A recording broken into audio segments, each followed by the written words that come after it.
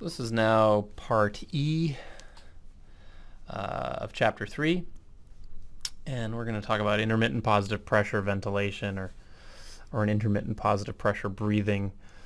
Uh, this is for argument's sake for this portion we're going to talk about a mechanical breath essentially where you're increasing intrathoracic pressure, increasing lung volume, but you're doing it without any PEEP. So this is uh, also known as ZEEP, which is one of my favorite uh, physiologic acronyms. And ZEEP is zero and expiratory pressure, which is something we rarely do in the intensive care unit because of these notions of physiologic PEEP or physiologic FRC or things like that. I don't know if there's a whole lot of evidence to suggest that that exists, and I think even maybe in the in Marino and the Blue Book they they cite some articles that it doesn't exist, but that's sort of be, um, besides the point. So returning to the um, this epic Venn diagram of chapter three, we're working our way through it. We're teasing out the effect, or volume and pressure effects. We're understanding heart-lung circulation, heart sorry heart-lung interaction. Part A was increased lung volume and its effects. Part B was decreased intrathoracic pressure only without lung volume and its effects. And I coined these uh, this the mini Mueller Part C was the two of these together and its effects decrease intrathoracic pressure and an increase in lung volume. And that's obviously a spontaneous breath. Then in the part D, we talked about just an increase in intrathoracic pressure without an increase in lung volume. And that was the mini Valsalva. And now what are we talking about? Well, we're talking about the two things here together. Increased lung volume with increased intrathoracic pressure. And this is a mechanical breath. So um, intermittent positive pressure ventilation, I'll use this to demote, denote a completely passive patient being passively mechanically ventilated without PEEP. Um, this physiology will, will, reflect repetitive increases in intrathoracic pressure with an increase in transpulmonary pressure and therefore lung volume. Recall from chapter 1 that an increase in airway pressure is related to but not equal to the increase in intrathoracic pressure which we will consider to be pleural pressure for this discussion. That's a pretty wonderful uh, run-on sentence right there. Sorry about that. Uh, also recall that the increase in pleural pressure or intrathoracic pressure tends to follow the chest wall elastance curve.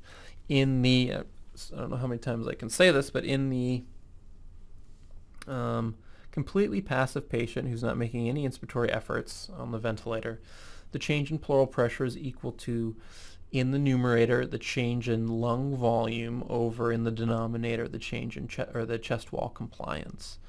So um, the change in lung volume in turn is determined by the lung compliance uh, itself. But as you apply a volume from the ventilator to the lung, the lung expands and the lung expands out against the chest wall. And so therefore the, the compliance is therefore determined by how stiff the chest wall is as the lung presses out against it.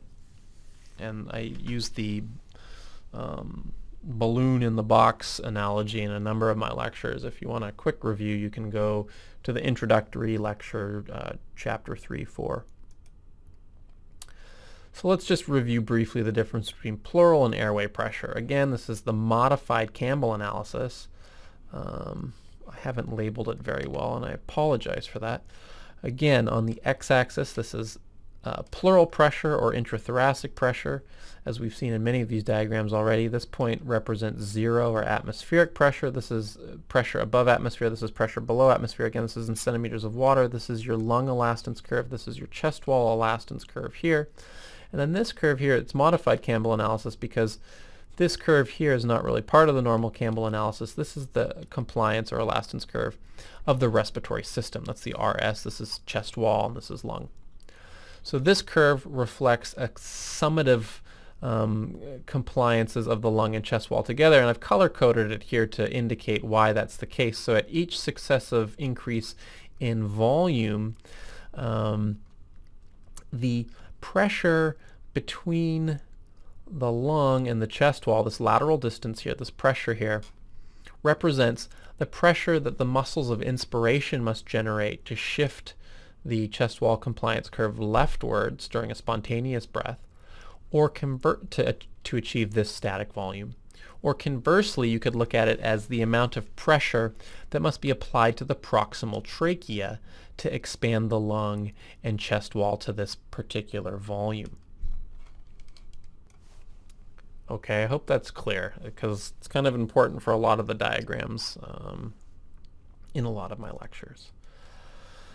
So increasing the thoracic volume by a positive pressure breath will result in a change in the peak and plateau pressures, which is different from the change in the pleural pressure. Again, so because these are static volume changes here, um, this summative respiratory system compliance is the is the compliance of the static respiratory system is what I should say is that this is just the compliance curve um, for the lung and chest wall together that says nothing about um, the uh, the the amount of pressure that must be applied to affect gas flow. And I think I talk about this in chapter one, but this elastance curve of the respiratory, the compliance curve of the respiratory system, this is essentially like a series of plateau pressures. Um, if you want to think in terms of ICU physiology, if you were to take a patient and give them volume green on the ventilator and measure a plateau pressure, and then give them volume red and measure a plateau pressure, that would be here, and give them volume, um, I don't know what this is, some sort of blue, I'm kind of colorblind, teal, I don't know. Um, give them this volume and measure the plateau pressure, and then give them volume um, dark blue and measure the plateau pressure. This is just a series of plateau pressures, and you can see how that flows from the, the compliances of the lung and the chest wall together. So again, plateau pressure curve, airway pressure curve. So if I were to increase the lung volume with a breath from FRC up to this dark blue volume like that. Um, the compliance curve for the chest wall, again, is what approximates the pleural pressure volume relationship.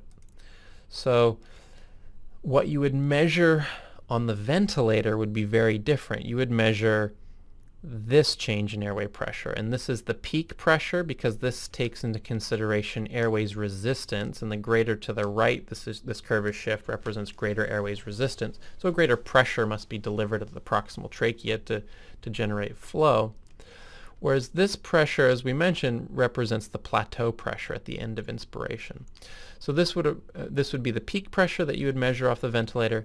This would be the plateau pressure that you would measure off the ventilator. Okay, but the pleural pressure is way over here. And the pleural pressure, as we mentioned, is, is um, determined by the change in lung volume and the chest wall compliance in the passive, potentially paralyzed patient on the ventilator who's not um, changing their, not, has no uh, muscle, no respiratory muscle activity, so they're not changing the compliance characteristics uh, of the chest wall compliance curve. They're not shifting the chest wall compliance curve leftwards or rightwards. So let's talk about IPPV uh, and the right ventricle. To the extent that the airway pressure that we saw is transmitted to the pleural space, the right atrial transmural pressure will decrease and the right ventricular preload will shrink. By the same token, right ventricular afterload would tend to de decrease as a function of the increased pleural pressure because as, as we talked about, as the preload decreases, the uh, max wall tension on the RV during systole would tend to decrease, and therefore there's kind of conflicting effects here. Well, sorry, I'm getting ahead of myself. There's conflicting effects because during the increase in lung volume that you get with a mechanical breath, there's an increase in the transpulmonary pressure or lung volume and as we talked about, that would tend to increase pulmonary venous resistance, therefore increase pulmonary outflow impedance, and therefore increase right ventricular afterload. So the, the effect on the RV is difficult to predict, um, but preload reduction um, tends to be uh, tends to be the predominant effect when the lungs are of normal compliance and volume. And this this understanding this physiology is more important when I talk about um, particularly the difference between pulmonary ARDS and extrapulmonary ARDS as proposed by Gattinoni and colleagues in the late 90s.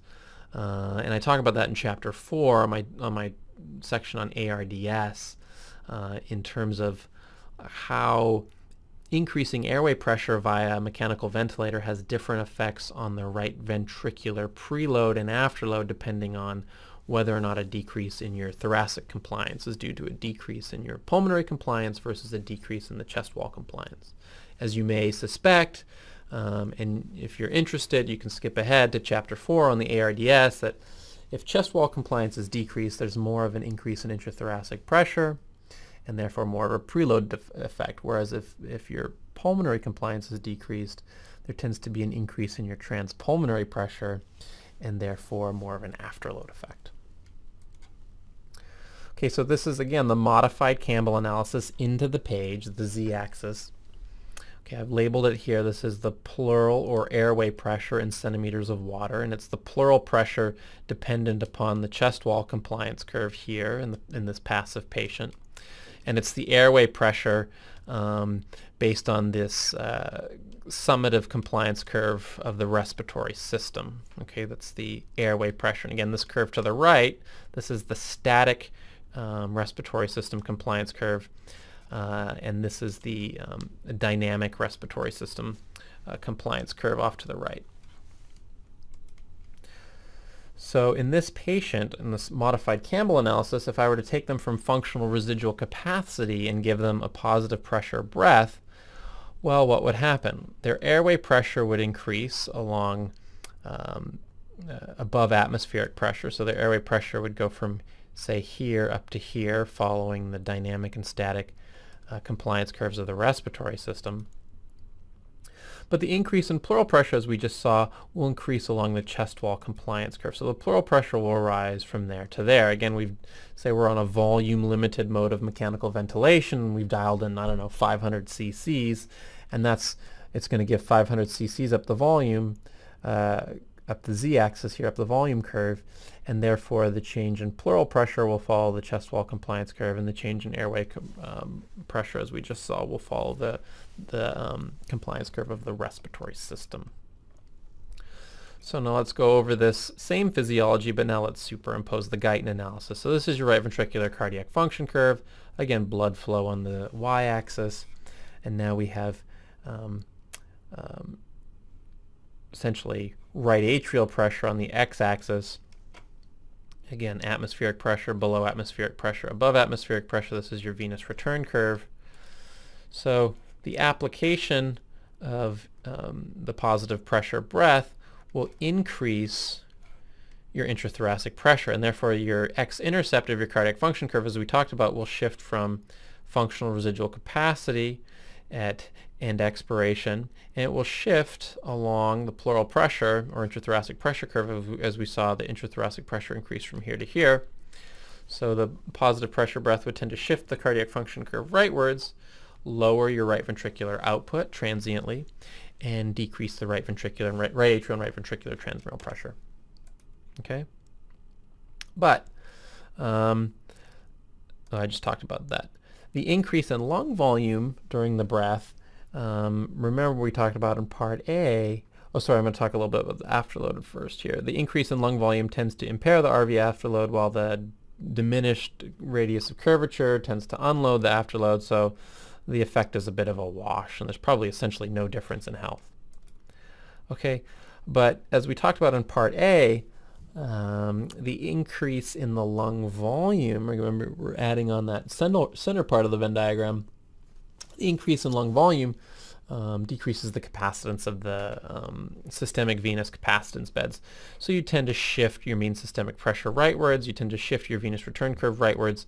And again, as we talked about, whether you maintain um, re resistance to venous return or increase resistance to venous returns will depend on your underlying volume status. And if you're on the hypervolemic side as you increase your uh, intrathoracic pressure, um, you'll tend to maintain IVC flow, but if you are on the hypovolemic side, you may actually um, increase the resistance to venous return and diminish uh, flow to the right atrium and right ventricle. So I hope that's clear from this diagram. So now moving on to intermittent positive pressure ventilation and the left ventricle.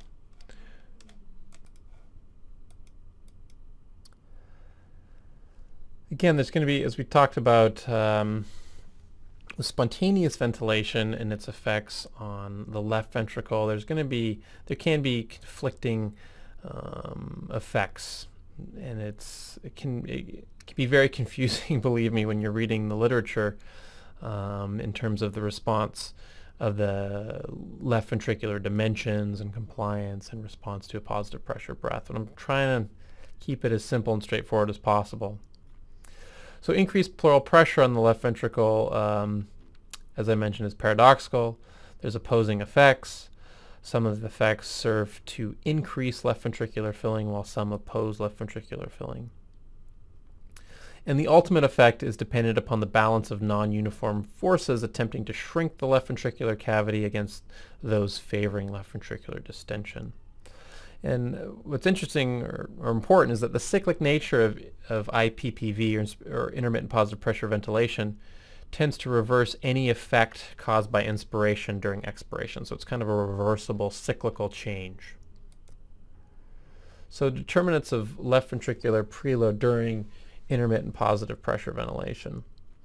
So if you if there's diminished diastolic ventricular interdependence, um, and this would occur uh, in a in the hypovolemic patient or the patient with a low volume status, um, it will be determined by the the RV function, and it will also be determined by the onset of increased pleural pressure during diastole.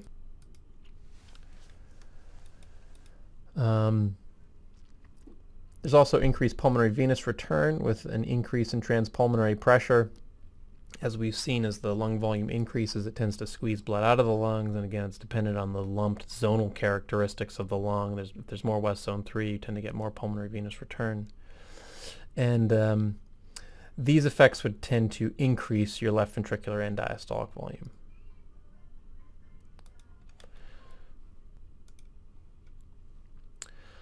Um, Sorry, where was I? it's a party. On, there's a party going on outside. Um, so what are the effects that would tend to um, diminish left ventricular end diastolic volume?